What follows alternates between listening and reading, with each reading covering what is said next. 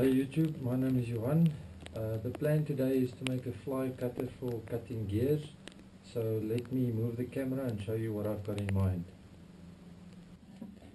So here I've got two pieces of bright mild steel. This one is uh, 35 millimeters thick and I don't know about 25 long.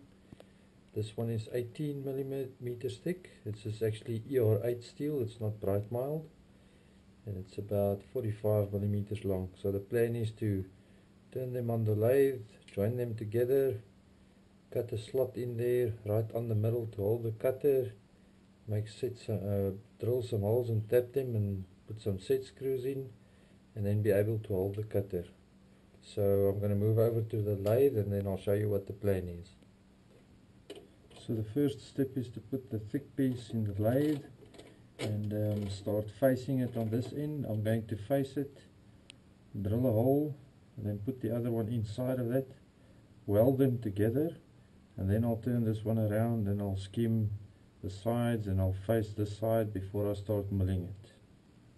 So my lathe is a belt drive and it was set to about a 1600 revs which I think is too high so off camera I just went and quickly switched it to about 630 RPMs I think. I always put some rags here just to keep most of the chips off the ways.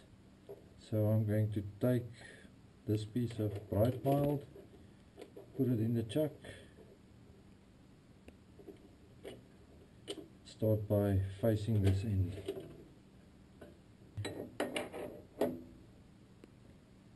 Um, in this quick change tool post it's already set to center height. Just going to bring it in closer.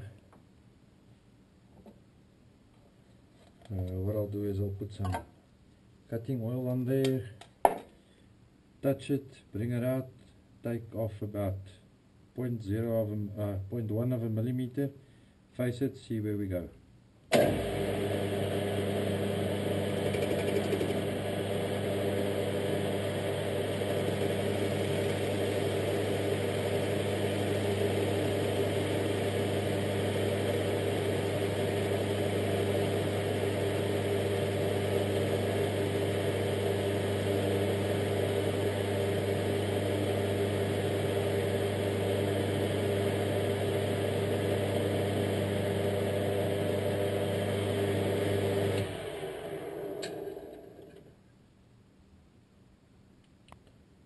Too still need a little bit off there. So I'll come back touch off again see if we can clean it up this time. I'm also going to be locking the the feed this way um, just to make sure that it doesn't move on me as I'm facing the, the material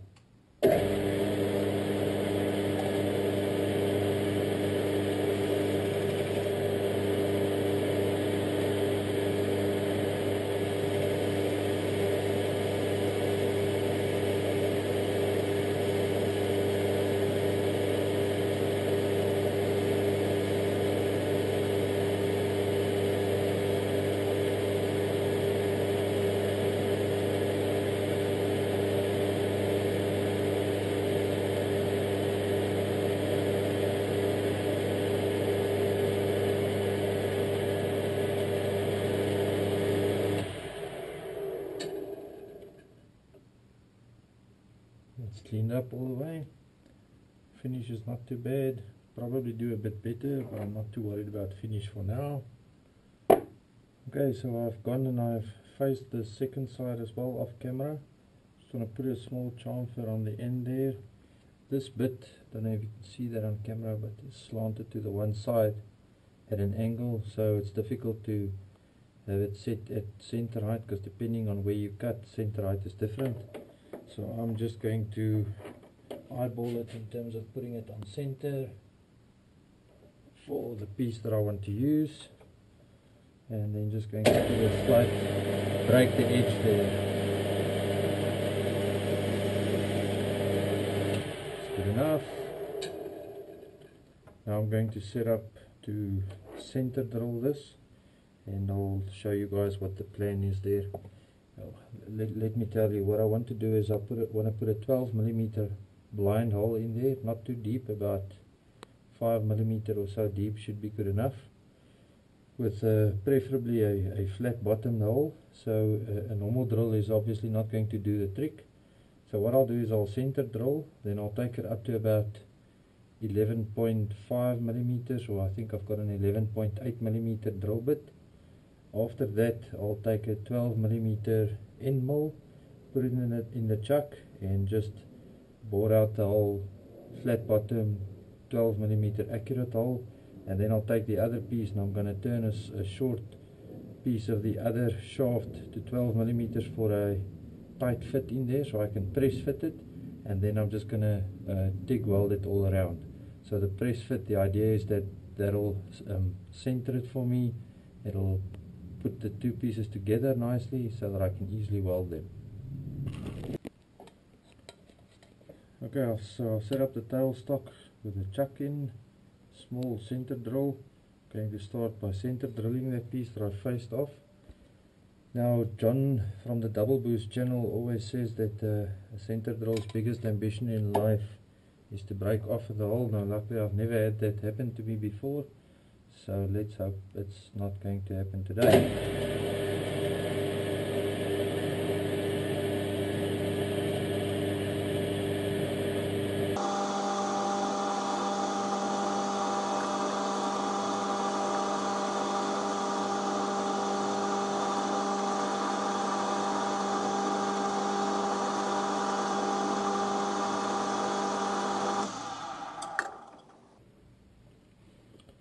Next I'm going to drill about 5 millimeters in using a 3 millimeter drill, then a 7, and then I've found an 11.5, and then um, once that, that hole is drilled to 11.5, I'll bring you guys back on the camera and show you how, uh, what the plan is to do with the end mill.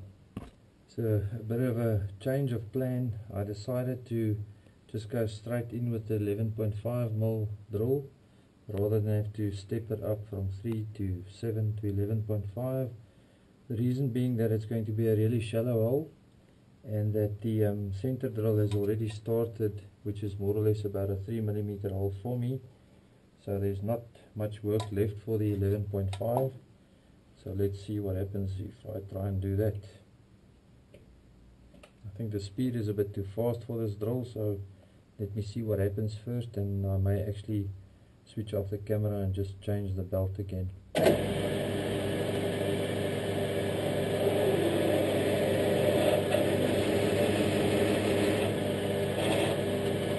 Yeah, that's too fast, so off camera I'm just going to change the speed of the lathe. Okay, so off camera I went and I just slowed down the lathe. I'm down to its slowest speed, which on the belt here is 160 RPMs. It's probably a bit too slow for this as well as for the mill that I'm going to use after this. But I found that it's better to go too slow than too fast. So let's see how that, this goes.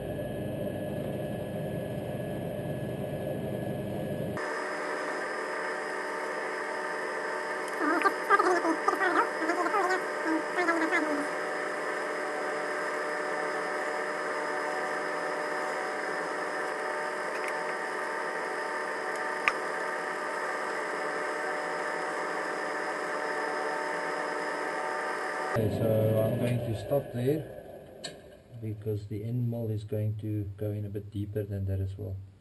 So that was basically drilling an 11.5 millimeter drill into mild steel at a very slow speed without basically any pilot hole which is probably not ideal but given what I was trying to do here I thought I'd take that chance. So next up I'm going to swap this Jacob's chuck for an end collet, a, a milling bit collet. Goes into the same taper back here on the tailstock. And then we'll see what happens if I try and clean that all up with the 12mm end mill. So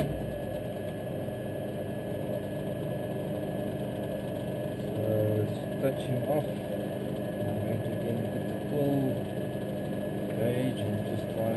Millimeters from there. So the first bit was easy, because it was just taking the hole up to the full 12 mm diameter. Yeah, I can feel it starting to bottom out now.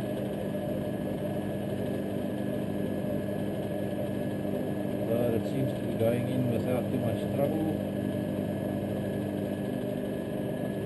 Back out. Still not looking too bad. Clean off this chips. Going about another millimeter or two maybe.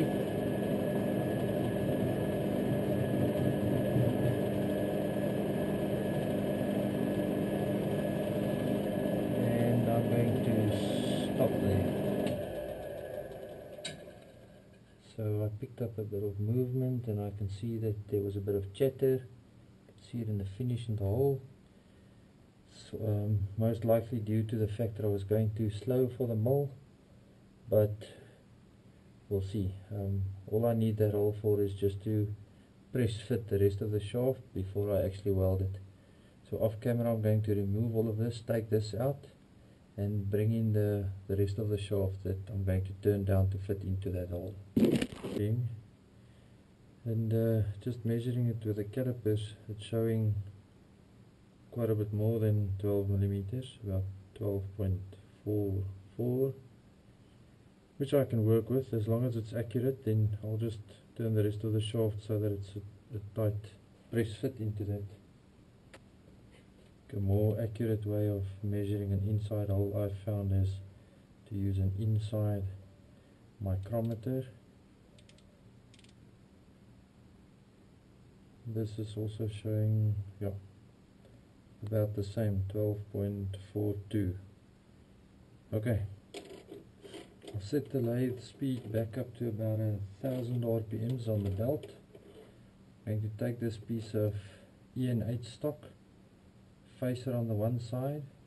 The idea is to turn it down to 16 millimeters for about uh, more or less an inch, 20, 20, 25 millimeters. That bit will go into an ER25 collet chuck, 16 mil chuck. The rest of this I'll just um, touch and, and clean up. The diameter doesn't really matter but then um, for the last 5 millimeters or so on there maybe 4 millimeters I'm going to turn it down so that it's a press fit into this little sucker that I made earlier on. Then press it in there just um, take the TIG welder and weld it all the way around and then I'll turn it around in the chuck and clean this up face it again just to make sure it's square to the to the shaft before I start milling the groove to take the, the cutter bits.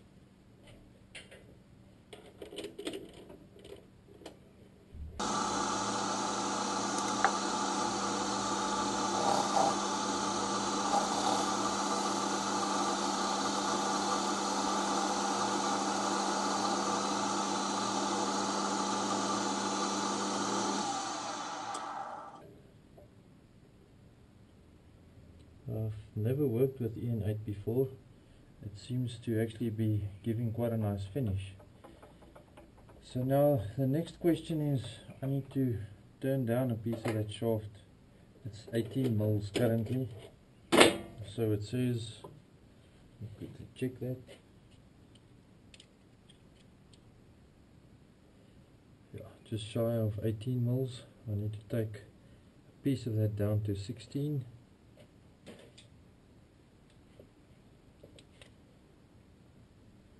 Uh, these dimensions are really not critical. Um, probably up to there. Gives me more than enough to put in the in the ER25 collet chuck. Then that last little piece there be turned down to fit press fit into that hole. And then this piece left basically at 18 millimeters. Um, just gives me a bit of meat to run a weld bead around that. Now, I'm thinking whether I should center drill this and put a live center in there when turning it down. Since I can probably chuck it up to there and turn up to there, should give me enough body to hang onto in the collet chuck. Since that dimension is not all that critical, just needs to be a little bit less than 16 so it will fit into the chuck the chuck will crimp down anyway and, and grab it. I uh, think I'm probably going to be able to get away with chucking it up on this end and then turning that down. Let's let's give it a try first and see how it goes. I should probably center drill it. I'm lazy. Take small cuts. Could work. Let's see.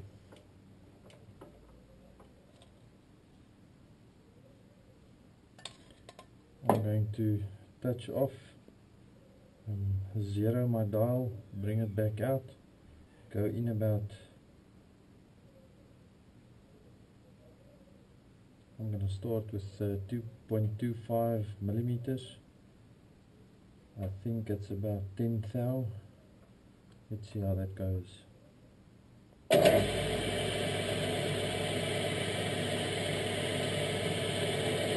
Touching there zero the dial, come back out, go in 0.25 millimeters.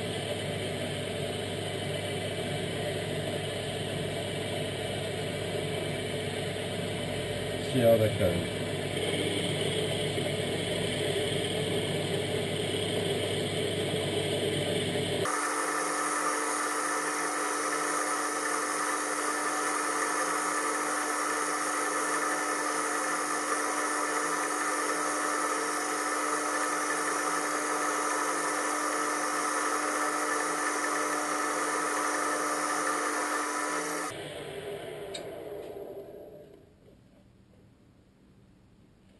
Finish isn't great. Um, the insert on this cutter is pretty new so I don't think it's that I don't know what EN8 turns like, like normally. Like I said this is the first time I've used it. Probably part of that is maybe due to a bit of flexing because I'm sticking out I think a little bit further than what I should be.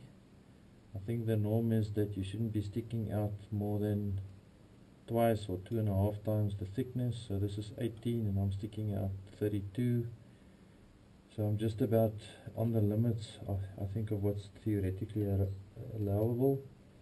But um, I'll touch this up with a file and it's again the finish is, is not too critical. This is going to be held in a collet chuck. So I would like it to be fairly smooth. As a last cut I'll also take a very thin cut and that'll probably help the finish. So I'm just going to go get an outside mic so I can mic this. I've zeroed my dial for this cut so I know how much is left to go. Okay, I brought this down to just less than 16 millimeters. Took a really light cut in the end. The finish is still not great so I'm just going to touch it with the file, see if it helps.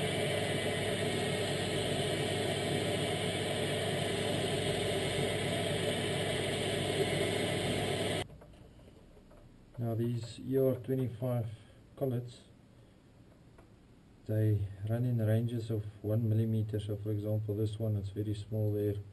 I don't think you'll be able to see it but it says 16 and it clamps down to 15. I've tried 16 mil silver steel or drill rod as it's called in the US in here before. It goes in but it's a, it's a bit of a tight fit. So I prefer when making little shanks for these things to make them you know let's make it quickly. Probably about 15.8 oh it's about 15.85 84 so I take off about 0.1 0.15 millimeter less than the maximum of the collet to make sure and it goes over quite easily. Bit of a loose fit but if I put it in the chuck and tighten it up it should easily be able to bite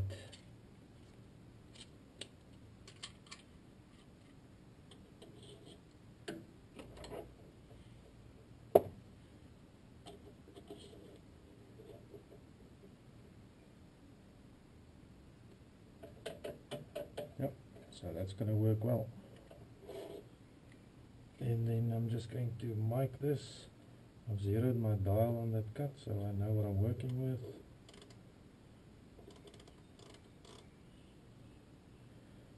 So that's 16.87 give or take. So I'm going to try and take off 0.87 just to get to a, a whole number and then I'll work it down from there. Actually more spring cuts than really taking away any, any material. I'm now down to I think I took it a little bit too far 12.43 more or less. So hopefully it's not too much actually it is but nevertheless it's it's still a very slight very very tight slide fit. So what I'll do is I'll um, slide it on there. Keep it clamped maybe in the vise tag it up and then weld it all the way around. Okay so I'm gonna take this out. I'll go go over to the vise see if it actually will do with a, a little bit of a press fit and then get it prepped to weld then I'm going to put this in the vise between the jaws and just press fit that last bit maybe even tap it with a brass hammer put it down on an anvil and tap it with a brass hammer. And um, I believe that's going to be good enough for just holding it in place while I'm welding. I'll give it two quick tacks on maybe or three at 120 degrees apart and then I should be able to run it around. So I'm not really set up at the table where I'm going to be doing the welding to show you guys but uh, you know nothing to it. Just gonna run a very small TIG weld around the edge there. I'm not a welding expert either so um, I think it's maybe more of a case I don't want you seeing um, the way I do the welding but we'll see what it looks like afterwards. I went over to the vise and pressed these two pieces together. The last half a millimeter or so actually went in fairly tight so I think I I eventually got what I wanted. The idea behind that press fit was was literally just to keep it in place while I'm doing the welding and so that it doesn't pull to one side I could have probably put it in the vise and tagged it up and even without a press fit would have done the job. But nevertheless so the welding is nothing to write home about. Just a very basic TIG weld. I don't weld that often and with TIG welding it's quite a quite a tricky thing to do. You have to practice. Typically when you do a job then the last weld is always the best looking one because of the practice you got throughout the job. So if you guys want to see some very good welding I suggest you go look at Jody's welding tips and tricks.com I think he's the master in, in that area.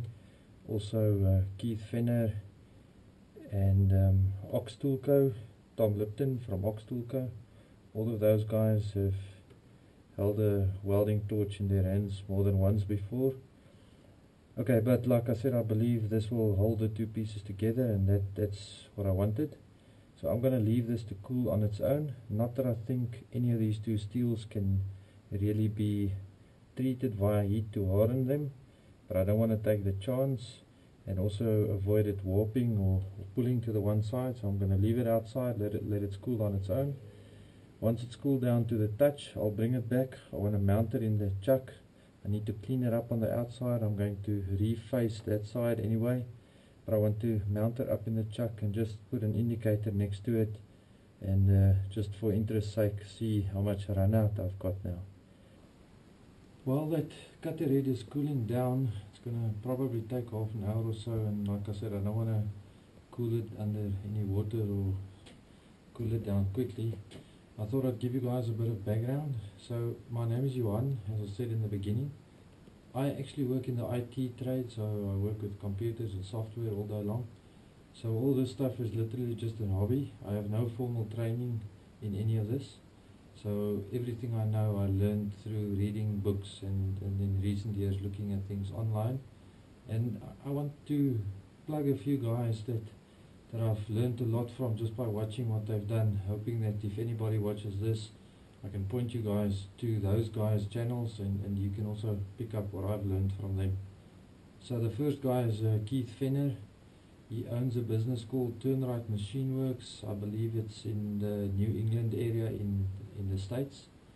And uh, brilliant guy. In, in terms of the, the precision of his work and stuff, it's just incredible he'll do a big job and still work down to half a thou on a on something this huge. So incredible work. I learned a lot from him.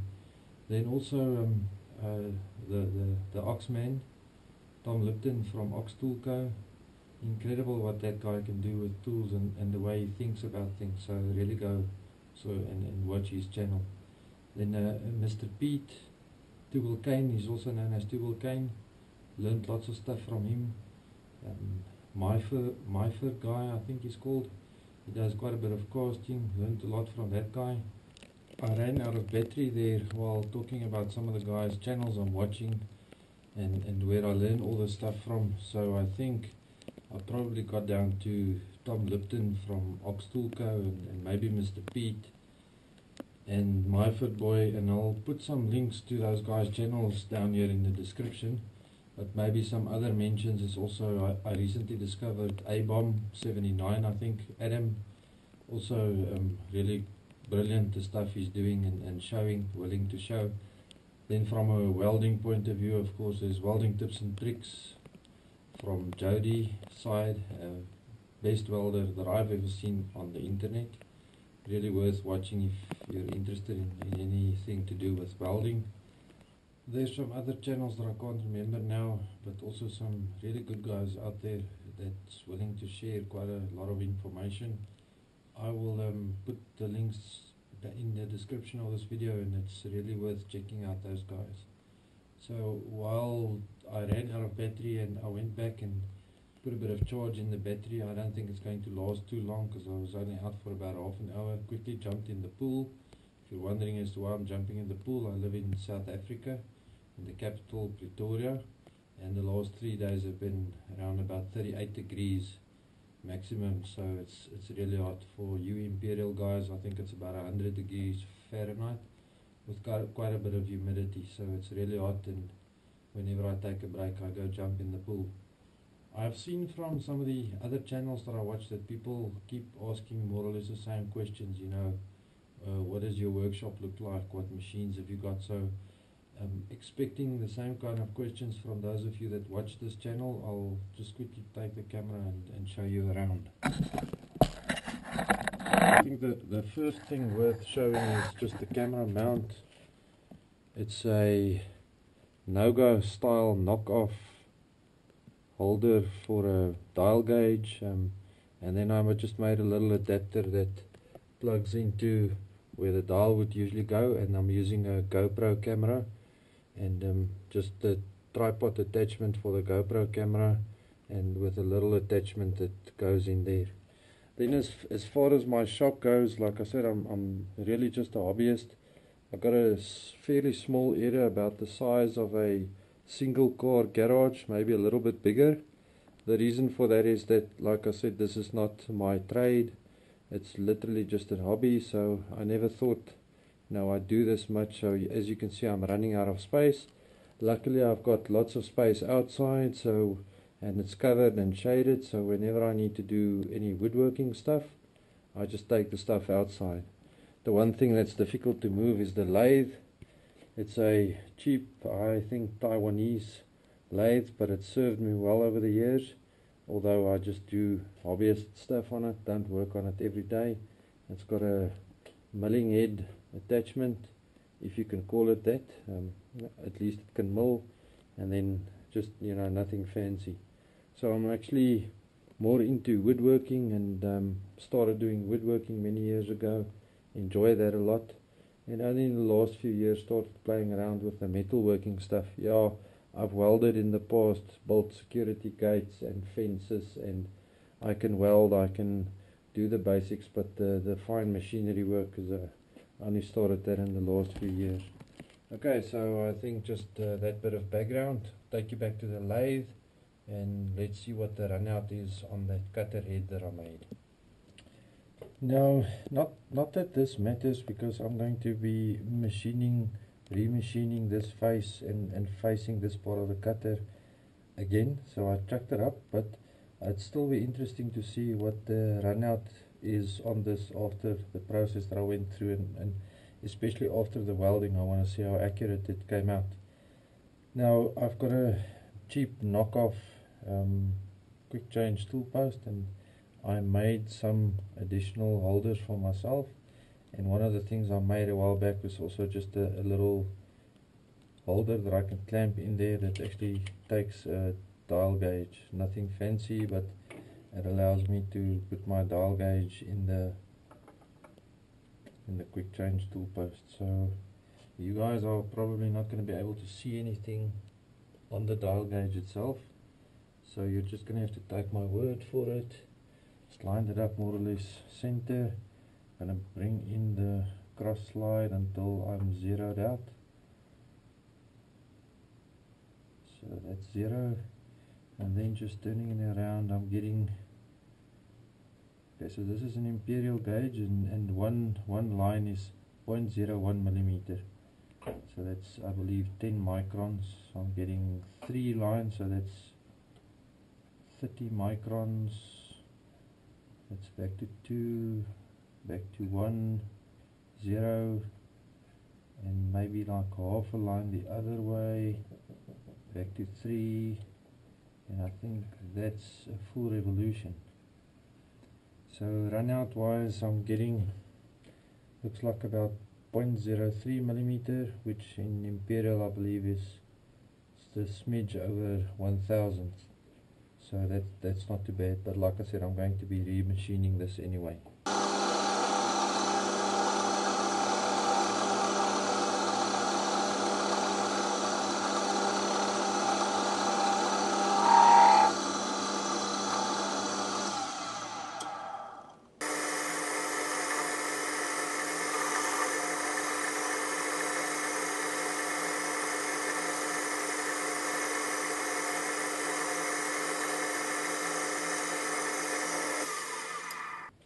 maybe show you what that's going to look like. Um, I'm going to mill a slot of which the one side will run right through the center and then offset to the one side by just a, a little bit over 6 millimeters. Reason for that being is that most of my cutters that go in here will be 6 millimeters. Then I'm also going to take off a little bit here and drill two set screw holes in there with um, taking out this bit two holes there with the set screws going through there and keeping the cutter in place. So that's the plan and depth wise I'm also going to go just a little bit over 6 millimeters. Uh, no reason to go too deep and my mill is really small so it's already going to be I believe a challenge to do this. So I don't want to do more than I have to before the milling work can start, uh, the, the most important bit is of course to get your setup right, get a solid setup that'll work for what you're trying to do. Now as you can see I've, it's a really small lathe, my took off the chuck just to give me a bit more space here. And then my vise is really small, I think it's a 75 millimeter jaw width so it's only about 3 inches jaw width and um, you know to, to clamp this thing with a V-block in there just wasn't enough space. Now I've got this El Cheapo clamp kit that comes with a bunch of studs and T-nuts and nuts and what have you. And um, I think I came up with a way using these two V-blocks and the clamping kit. So basically what I'm going to do is use the two T-nuts and studs here put two V-blocks on top of each other like this. Clamp them down.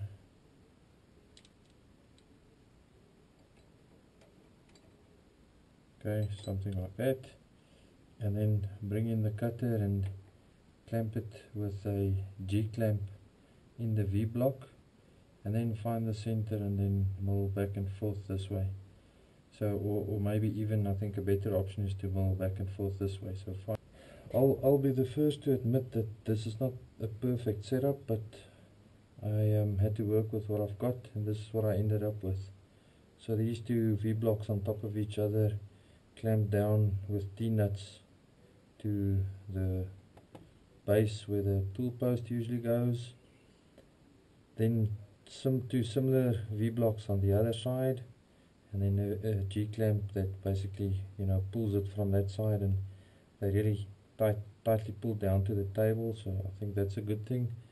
Um, I'm going to go be going six millimeters into this thing when slotting it and it's standing sticking out about 10 millimeters so I've left more than enough and there's also I think more than enough there's about almost an inch 20 25 millimeters into the V blocks the way I'm going to be finding centerline is using a, a little wiggler center, center finder here. There's lots of videos on the internet on how to do that.